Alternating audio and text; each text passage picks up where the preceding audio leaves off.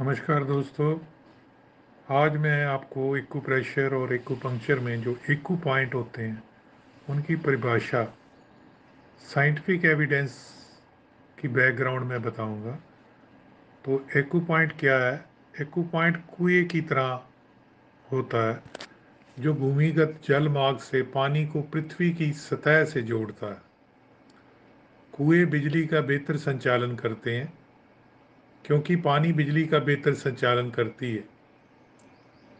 कुएँ ऐसे संस्थान हैं, जहाँ सामग्री आसानी से ज़मीन में, ग्राउंड में समा सकती है। कुओं में पानी का तापमान सीधे नीचे या भूमिगत जल मार्ग से जुड़े, दूर के स्थानों से ज़मीन के तापमान को दर्शाता है। तो कहने का तात्पर्य है कि जो हमारे शरीर में एनर्जी फ्लो करती है, ऊर्जा फ्लो करती है वो मेरिडियंस के थ्रू फ्लो करती है और उस मेरिडियन पे कहीं कहीं जगह पे एक पॉइंट होते हैं जिनको हम कुएँ के साथ रेसिप्रोकेट कर रहे हैं। परिकल्पना ये की जाती है कि मध्याह्न रेखा में पानी वास्तव में स्थिर जल समूहों में बना रहता है और भूमिगत जल मार्ग मेरिडियन की तरह होती है।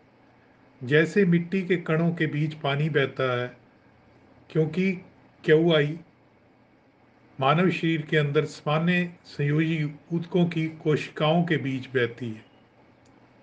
टिश्यूज में बहती है, फ्लो करती है। एकू पॉइंट का अनुमानित आकार। अब सवाल उठता है कि एकू पॉइंट देखा जा सकता है? हाँ देखा जा सकता है।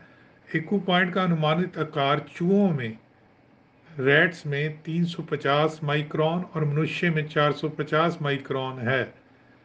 इलेक्ट्रॉन माइक्रोस्कोप की हेल्प से देखा जा सकता है। एकू पॉइंट के आई थ्री के माध्यम से रेडियो आइसोटोप का अवशोषण गैर एकू पॉइंट्स की तुलना में बेहतर था, जो उच्च शिखर गतिविधि और अधिक अवशोषण दर से परमानेंट था। मानव शरीर पर 73 एकू पॉइंट पर चुंबकीय अनुवाद इमेजिंग की तकनीक से सिटी स्कैन और एक high scope video microscope system के साथ ये पाया गया कि एक एकू पॉइंट एक जटिल प्रणाली है कम्प्लेक्स है, जिसमें मुख्य रूप में संयोजी ऊतक होते हैं, जो रक्त कोशिकाओं के साथ जुड़े होते हैं। तंत्रिकाएँ, लसिका, वहिकाएँ आदि तत्व जैसे कैल्शियम, फास्फोरस, पोटाशियम, आयरन, जस्ता, जिंक, मैग्नीज आदि एकू पॉइंट के अनुरूप स्थानों में गहरी संयोजी ऊतक संरचनाओं में केंद्रित पाए जाते हैं। मनुष्य में क्यू आई को प्रेरित करने के लिए acupoint B L twenty three twenty four twenty five पर एकूपंक्चर सुई घुमाकर ये पाया गया कि पारदर्शी सामग्री सुई से जुड़ी हुई है। इलेक्ट्रॉनिक माइक्रोस्कोप विश्लेषण से पता चला कि पारदर्शी सामग्री कॉलेजन फाइबर, लोचदार फाइबर, फाइब्रोब्लास्ट वसा और मस्तूल कोशिकाओं से बनी थी। शायद ही कभी तंत्रिका फाइबर जैसी संरचनाएँ देखी गई। फिर भी कैल्सीटोनिन जीन से संबंधित पेप्टाइड पॉजिटिव तंत्रिक तंतुओं को acupoint B L twenty four संबंधित प्रावणी में प्रदर्शित किया जा सकता है। तो दोस्तों, इसको मैं थोड़ा सा हिंदी में कन्वर्ट करता हूँ। In humans by twisting an acupuncture needle at acu points BL 23, 24, 25 to induce QI, it is found that transparent material bound to the needle. Electron microscope analysis revealed that transparent material were made of collagen fibers, elastic fibers, fibroblast, adipose and mast cells. तो adipose tissue subcutaneous होता है rarely were nerve fiber like structure observed Nevertheless, calcitonin gene-related peptide positive nerve fibers could be demonstrated in the equipoint BL24 associated fascia. तो दोस्तों बहुत सारे बच्चे बहुत सारे इंस्टीट्यूशन से एमडी एकू प्रेशर जो मास्टर डिप्लोमा सर्टिफिकेशन मास्ट एकू एकू प्रेशर करते हैं और कुछ बच्चे मास्टर डिप्लोमा सर्टिफिकेशन, जिसको वो कहते हैं M D A M T यानी कि master diploma acupressure and magnetotherapy करते हैं। तो उनको ये ज़रूर पता होना चाहिए कि दरअसल इक्ू पॉइंट है क्या, क्योंकि इक्ू पॉइंट अगर हमें नहीं पता तो नेचुरली हम कितने भी परिपक्व क्यों ना हो जाएँ, हमें उसका बेसिक प्रिंसिपल नहीं पता लगता। तो फिर दोबारा अगर कोई पूछे what are eco points eco points are like wells that connect water from underground water ways to earth surface the well conduct electricity better because water conduct electricity better wells are places where material can sink into ground easily the temperature of water in the well reflects the temperature of the ground directly below or from distance places connected by underground waterways. तो इसकी thermal scanning भी की गई।